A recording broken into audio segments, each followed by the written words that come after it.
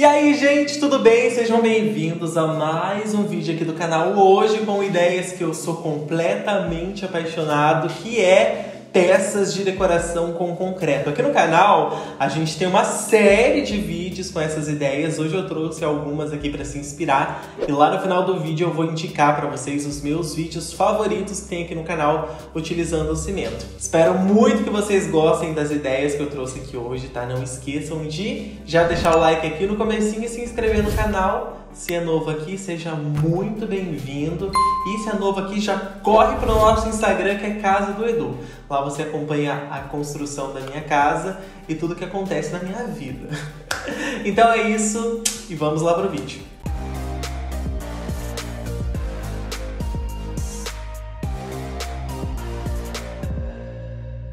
Pessoal, começando com essa ideia de decoração que você pode utilizar em cima de uma mesa, numa escrivaninha, num aparador, o que, que a pessoa fez? Pegou uma caixinha qualquer, né? Tudo que é de concreto a gente precisa de um molde. E aí ela pegou uma caixinha quadradinha ou fez, como já tem alguns vídeos ensinando aqui, né, a fazer o molde.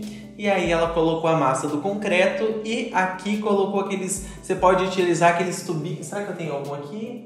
Deve ter algum lugar. Aqueles tubinhos de que se chama tubete, você encontra nessas lojas de festas, de coisas de aniversário. Geralmente as pessoas utilizam para colocar lembrancinha. E aí você pode colocar eles ali em cima. E gente, vamos já falar no início aqui do vídeo, tá? Muitas pessoas quebram as suas peças de concreto porque não tem a paciência de deixar o negócio secar. Ô, gente, eu sei que dá uma ansiedade você ver a peça. Ela seca de um dia para o outro e você acha que já está pronto, que pode tirar, mas não.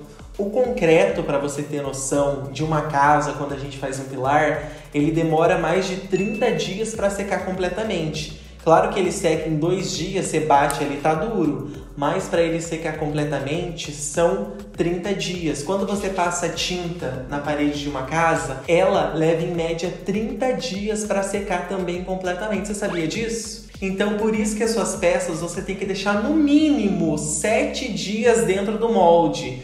Você fez o vasinho de concreto, tirou no outro dia. Ai, gente, estou com meu vaso lindo aqui. Passou uma semana, o vaso trincou. Ai, por que, que o Eduardo não ensina de. Não, a culpa não é minha. É você que não tem a paciência. Então, tenha pa... Você faz e você esquece que você fez. Daqui uma semana, assim, ai, meu vaso, vou desenformar. Aí ele vai durar muito tempo. Então faz a sua mistura, a sua massa, como se fosse uma massa de bolo. Eu indico utilizar argamassa do que o cimento. A argamassa tem aquela de piso, além de você encontrar de várias cores, verde, amarelo, rosa, todas as cores tem de argamassa. Ele fica mais firme e é mais fácil de você mexer e você encontra em embalagens menores do que você comprar um saco de 50 kg de cimento que você não vai nem aguentar carregar. Então a argamassa é um pouquinho mais cara, porém tem uma durabilidade melhor e você consegue manusear mais fácil e ela já é uma massa pronta. Você não precisa misturar areia, que nem quando você pega o cimento, mistura areia, cimento e ali argamassas, ela já vem pronta, é só misturar a água. E você já tem uma massa pronta para fazer todas as suas ideias. Gente, já falei demais, não saí nem na primeira ideia. Mas uma ideia, ó, uma ideia bem legal para decorar com os tubinhos. Outra ideia muito legal é essa decoração aqui que eu amei, amei muito. O que, que a pessoa fez? Pegou um molde, pode ser um acetato, né? A gente temos um acetato aqui, produção? Tem. Essa ideia até eu vou querer reproduzir. Se você não tiver uma garrafinha lisa que você consiga fazer, por exemplo, tem aquela garrafinha de H2O que ela é bem lisinha, que seria bom para fazer essa ideia. Mais uma ideia que eu acabei de pensar aqui é a gente pegar um acetato, que é essa folha aqui, que ela é bem, ela é bem durinha, não rasga fácil, você não consegue rasgar se você puxar. E aí você vai fazer um círculo com ela, tá vendo? Vai colar bem bonitinho com fita adesiva. E aí você vai colocar ela em cima de uma base, pode ser de madeira, e passar cola quente em volta para não sair cola para todo lado tá? Você não vai me encostar o bico da cola quente aqui também, porque senão vai derreter. E aí você já tem aqui o molde, você pode primeiro colocar a sua massa pronta de argamassa ou de cimento. E aí depois você vai derreter né, uma vela e jogar por cima para ficar esse efeito lindo. Aqui ainda na parte de cimento, ali onde ficou as falhas, eu amei esses detalhes em dourado que a pessoa fez, deu um toque muito especial para a peça. E ficou linda aqui na decoração. Ah, não esqueça que vocês vão votar nas quatro ideias favoritas de vocês para eu reproduzir com as minhas mãos, tá? Vocês já podem votar nessa vela. Gente, vaso de cimento eu sei que é uma coisa muito clichê. Já ensinei várias vezes, aliás, de formas diferentes. Tem um papel alumínio que eu amo. Depois eu indico ele. Enfim, aqui o que eu queria indicar é a pintura. Olha que linda essa composição de cactos. E aí a pessoa fez ali, deixou o fundo com o, o vasinho lá de trás. Deixou embaixo cimento, fez uma tirinha branca e em cima pintou com esse verde, né? Nesse tom de verde mais metálico lindo demais. Eu amei muito essa ideia, bem bacana. Ali na frente ela fez os triângulos e ali os vasinhos de trás, um ela inverteu. Vocês estão vendo que embaixo é o cimento e no outro o cimento é em cima. Ficou lindo e que é legal você brincar com as cores. Já pode fazer dourado, preto com branco. Uma outra ideia que eu amei de luminária é essa aqui. Olha só, a pessoa fez ali uma base grandona uma outra ideia de base que você pode utilizar, é que eu não tenho aqui agora, mas é um tipo um, uh, um papel, um papelão que é um Eu vou conseguir explicar, calma. É um negócio que vem enrolado tecido, ele é tipo um papelão bem grosso. E aí por dentro ele é oco. Se você conseguir isso em lojas de armarinho, onde eles sempre jogam fora quando acaba o tecido, você pode utilizar como molde ou em um pedaço de cano PVC também, dá super certo. Até mais fácil de fazer com cano PVC, que ele é bem firme, tá? Passa óleo para ficar mais fácil de você conseguir tirar ok? E a base da luminária você pode fazer com cano fininho também de PVC, você já vai colocar o cano ali antes, né, de encher de massa, porque ele tem que ficar firme, e depois é só passar a instalação de fio normal e colocar a lâmpada de sua preferência ali. Uma ideia de peso de porta utilizando garrafa PET que eu amei e achei super simples, gente, sem segredo nenhum. A pessoa pegou ali, né, um pedacinho, cortou o fundo da garrafa PET, encheu com a massa que ela fez e colocou uma cordinha de sisal para conseguir tirar e ficar mais fácil de manusear. Achei muito só cuidado para não chutar, né? Você imaginou dar um chute ali no negócio de cimento, seu dedinho vai ficar bem triste com você. Olha essa ideia, que coisa per... Gente, eu tô apaixonado por essa ideia. Achei muito, muito linda. Muito linda mesmo. A pessoa pegou ali, né, o, o, o negócio de vidro redondo e fez também, você pode utilizar para fazer com acetato, né? Finge que isso aqui é um negócio de vidro. E aí você enrola o acetato aqui e aí você vai completar com o cimento. E aí você vai esperar sete dias. Espera sete dias, pelo amor de Deus. Espera. Você vai esperar, eu sei que vai. E aí depois de sete dias você tira. E olha que linda essa composição com três, três tipos de vidros diferentes. Eu amei. Olha essa luminária, que demais. A base você pode fazer num potinho. Pode utilizar um potinho de sorvete, é, um potinho redondo de plástico que você... Aliás, uma ideia muito legal é você ir nas lojinhas de R$1,99 garimpar potinhos para você fazer os vasinhos de concreto. Você encontra de vários formatos dessas lojinhas e tem uns super baratinhos que você consegue criar muitas coisas legais. Então aqui a pessoa utilizou como base, depois ela colocou uma flange ali. Um flange é aquele negócio preto, que é o, é o nome desse cano, não sei por que é flange, mas é flange. É, colocou o cano maior e fez o abajur ali em cima. Achei uma ideia muito legal para casa também. Essa ideia eu tô muito empolgado para testar, gente. Só que eu quero fazer uma versão menorzinha, sabe? Sabe aquele saquinho de plástico que a gente coloca em pastas para colocar papel? Já pensei em fazer um daquele, colocar, né, encher de massa, depois colocar o copinho ali para ficar o buraquinho do vaso e amarrar uma cordinha no meio, como se estivesse amarrando ali para ficar esse detalhe.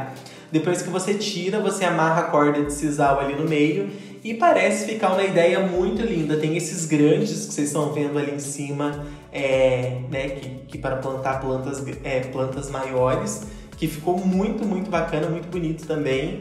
Mas é pra gente testar os pequenininhos para decorar uma mesa. Vocês podem pedir eu fazer essa ideia aqui que eu gostei. Uma outra ideia linda que eu amei é essa aqui, né? Os quadradinhos. Dá pra... Eu não sei se dá pra fazer naquelas caixinhas de, de suco, caixinha de leite. Eu imagino que talvez quando colocar o cimento ela pode abrir um pouco, abrir não, estufar um pouquinho e não ficar totalmente quadradinha, né? Ficar uma coisa mais orgânica.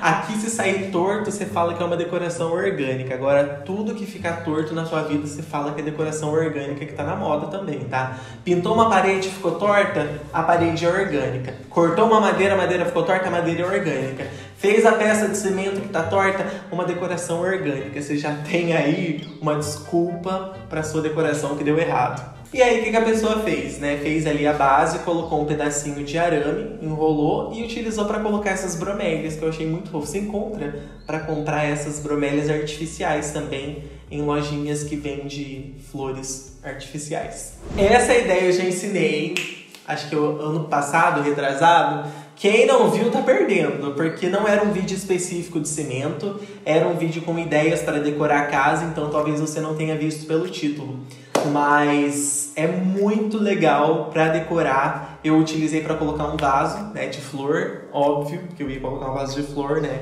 Mas você pode utilizar para sentar também. Se você for sentar, eu indico que você faça com ferro. Mas se você for colocar sua flor, não precisa. Eu falo ferro no meio da massa mesmo, como se estivesse fazendo um pilar de casa. Você faz uma gradinha de ferro e coloca no meio ali para não se sentar e quebrar. Que se sentar e quebrar esse pau aí, vai sabe o que, vai acontecer, né? Aí não vem colocar a culpa em mim. Enfim, mas eu indico você fazer para colocar flor, tá, gente? Você senta na cadeira e faz isso aqui para flor. Um balde do tamanho que você preferir, unta ele com óleo. Uma outra dica importantíssima: você não vai encher de óleo, você não vai deixar o excesso de óleo. É como se você estivesse untando uma forma para pôr o seu bolo. Você vai untar, porque o que, que acontece se você deixar o óleo, o excesso de óleo? Vai ficar preto. Ele vai secar junto com o cimento, vai ficar preto é, não vai secar direito, a hora que você tirar vai ficar aquele negócio engordurado e é horrível para lixar, então unta, só passa o óleo, também não vai passar um pouquinho, senão você não vai conseguir desgrudar. Mas passa uma camada ali e tira todo o excesso, tá? Ok? E aí depois você pode fazer os pés com cabo de inchada que você encontra em material de construção. Aqui na minha cidade custa 8 reais e aí você consegue dividir os pedacinhos em três e colocar um em cada lado ali e você já tem um banquinho super lindo para colocar sua planta. Gente, eu não vou fazer essa ideia, juro, com essa garrafa. Olha só, a gente tinha visto a ideia lá atrás com a garrafa, dessa vez é invertido. O que, que a pessoa fez? Ó, vai pegar o acetato e você vai vestir ele na garrafa. Tá vendo? E aí você vai encher de mata. Gente, vou fazer isso aí. Você, garrafinha, vai ser essa ideia aqui. Pode ter certeza que eu vou fazer. Amei para colocar plantinha. Juro que eu, eu juro que eu vou fazer. Vou até deixar aqui do lado. E aí, ali onde é o detalhe, né, que ficou a junção do cimento com a madeira, ela fez o detalhe com uma tinta prata. Ah, que legal, tem uma dourada, vou fazer dourado. Achei tudo. Essa, gente, essa ideia eu achei sensacional. E se eu achar uma lâmpada dessa, eu vou fazer. Se eu não achar, eu vou comprar só pra fazer que eu achei muito bacana. O que a pessoa fez? Ela pegou a lâmpada e tirou aquela partezinha de cima ali da lâmpada, né? Pode tirar com alicate, encheu de massa, colocou ali o cimentinho e depois ela quebrou o vidro. Se vai dar certo? Não sei se vai, porém a gente pode tentar, ver se vai dar certo. Achei muito legal, muito criativa. E aí é, você vai colocar também, tem um parafuso aqui, não tem. Mas finge que isso aqui é um parafuso. É um gancho de samambaia, mas finge que é um parafuso. Você vai colocar o parafuso enquanto estiver secando. E depois de seco, você só vai colocar na parede. Olha que legal que fica para colocar na, na entrada, para colocar bolsa, ou para colocar no quarto para pendurar casaco, pendurar bolsa, pendurar o que você quiser. Achei muito legal essa ideia. Não precisa nem pedir que eu vou fazer, tá? Já amei muito. Essa ideia, quem sabe vocês já fizeram ou já viram por aqui também que eu fiz ano passado de uma forma pequenininha. Fiquei com medo de fazer grande e o negócio cair pros lados. Então quero saber se quem fez grande deu certo, me conte aqui. Basicamente, o que, que é isso? Você vai pegar uma massa de cimento bem líquida e vai pegar uma toalha velha e vai mergulhar essa toalha na massa de cimento. Depois você vai colocar essa toalha em cima de um balde, de algum molde, para ficar esse formato e vai esperar secar também. E aí ela serve como um cachepô de vasos ou como tá nessa ideia, a pessoa plantou a própria planta dentro da ideia. Essa ideia aqui não é nem o cimento que eu queria mostrar, é mais essa ideia da luminária que eu achei sensacional. Aqui ela tem a base de cimento quadradinha, Depois tem ali a estrutura com cano PVC que a gente pode fazer. Só que eu amei essa proteção com tela. Gente, dá super pra gente fazer, gente. Eu vou tentar reproduzir essa ideia aqui, que eu tô pensando em fazer umas decoração com cano. E aí acho que vai se encaixar nessa ideia. Eu tenho até a lâmpada. Vejam se minha lâmpada não é igualzinho a que tá aqui. Gente, eu amei. E aí eu só preciso achar essa telinha. Eu acho que eu encontro talvez numa agropecuária. Quem sabe?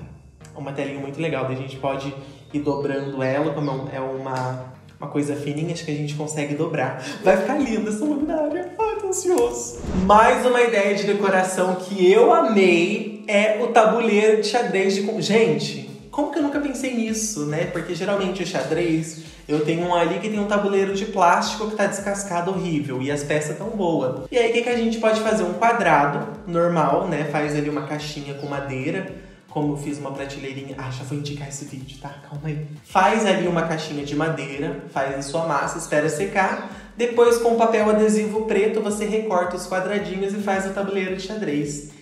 Eu achei simplesmente sensacional essa ideia, muito, muito bacana. E é a última ideia. Ai, poxa, acabou? Não acabou, que agora eu vou indicar os meus vídeos favoritos. Clicando nesse card, aqui tem um vídeo com ideias de sala, onde eu ensinei a fazer uma mesinha de concreto, ensinei a fazer uma luminária linda, uma luminária perfeita, um cacto com suporte de cimento. Então clica nesse card. Para quem gosta de ideias de cozinha, também vou deixar o card aqui com bandeja com efeito marmorizado. Você quer aprender a fazer concreto com efeito marmorizado, meus amores? Clica aqui. Tem descanso de panela, tem porta-copos, tem... tá muito lindo esse vídeo de cozinha. Para quem gosta de ideias para decorar a sala com concreto, tem esse aqui que eu ensinei a fazer a prateleirinha Ensinei a fazer um vaso com efeito lindo utilizando papel alumínio. E não poderia faltar, olha gente, tem o kit completo, sala, cozinha, quarto, falei quarto? É, banheiro, faltou banheiro. Clica nesse card aqui que aqui você vai aprender a fazer saboneteira, porta-toalha, porta-sabonete líquido. Tá lindo esse vídeo também com ideias pro banheiro, tá? Então é isso, todos os cards, dos links, os links dos cards estão aqui, você pode clicar e conferir. Me conte a sua ideia favorita, lembrando que já quero fazer a da lâmpada e a do vaso, que tá aqui a garrafa. E é isso, vocês podem escolher mais duas aqui, que foi a favorita de vocês. A gente se vê no próximo vídeo, tá? Não esqueça de deixar o like aqui, se inscrever no canal, que você me ajuda muito. Um beijo, obrigado por chegar até aqui e me aguentar por todo esse tempo. A gente se vê no Instagram, Casa do Edu. Me segue lá e comenta, vim do YouTube, Edu. Beijo, tchau.